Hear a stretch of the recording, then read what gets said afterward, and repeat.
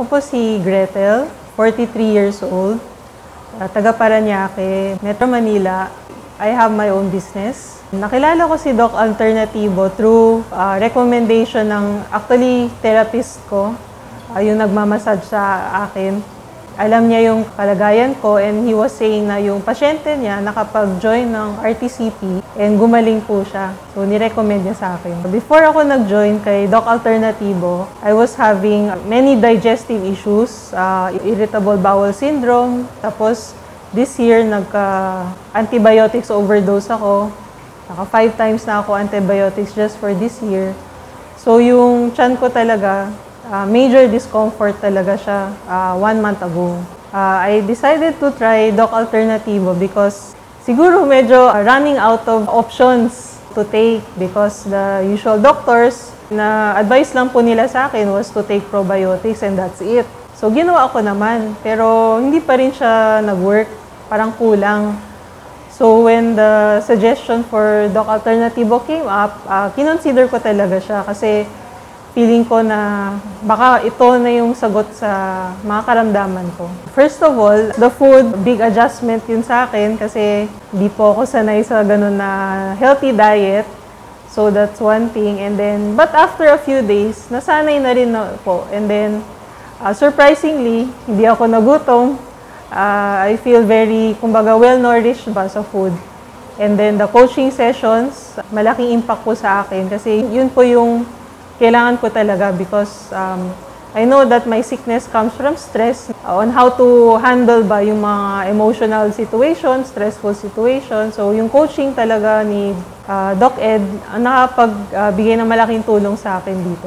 The improvements na feel ko after 5 days, yung bowel movement ko, nag-normal na siya. And then yung every coaching session after that, parang gumagaan yung pakiramdam ko. Parang nawawala yung weight, yung burden ba na yung mga iniisip ko. Yun talagang parang pinaka-climax na nawala yung mga iniisip ko na nakapagbibigat sa akin.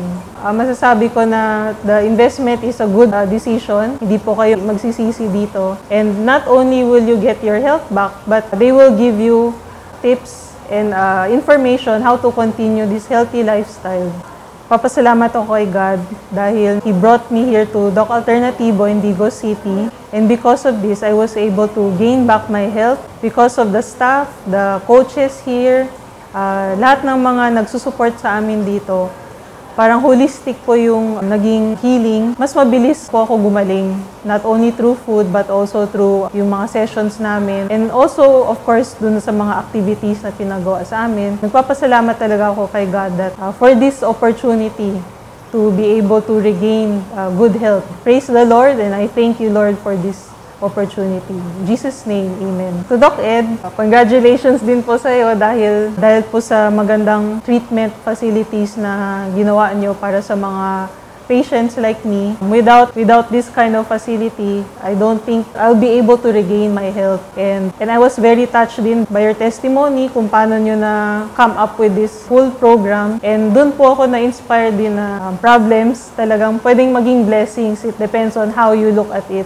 Dahil po doon, nag-change yung perspective ko sa life. Even in my situation, uh, it gave me motivation na kung paano harapin yung mga challenges that I'm facing now. So thank you, Doc Ed. And I hope that you and your staff, uh, the doctors, the coaches here will continue to be able to help many more people. Thank you. Uh, sa mga staff dito, to the coaches, yung mga nagsusupport sa amin, even sa mga regular staff ng itong treatment, talagang wala akong masasabi because they give their best. Even alam ko na pagod sila because from morning till evening, nandito sila, nag-aalalay sa amin. But still, nakikita namin na nandun yung ano nila, ng heart to serve, heart to share. I thank you for being there for us. And sana ipagpala po kayo ng Diyos that you can help more people.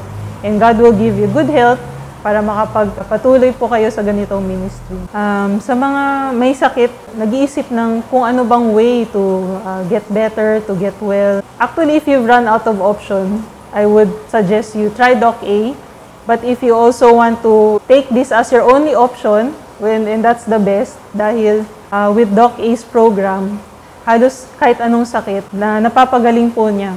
So through food, through the coaching sessions, through the cleansing session, parang holistic po talaga yung um, program na ginawa po dito that kahit anong sakit po talaga, um, gagaling po kayo. As long as you believe, as long as you take His word for it and believe in God, mangyayari po yun talaga sa inyo. Doc Ed, I am happy, I am wealthy, I am perfectly healthy, I am excited, I am in- inspired, and I thank you, Lord, uh, for giving me this opportunity to get well and also to share this with others. Thank you, Lord.